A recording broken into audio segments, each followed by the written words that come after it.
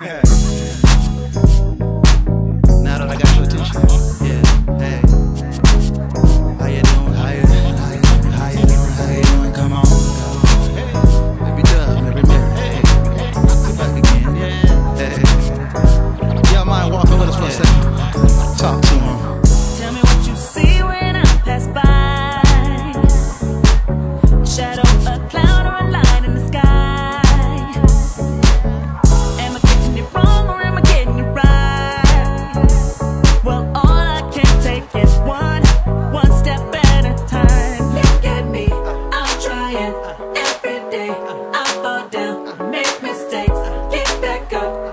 get.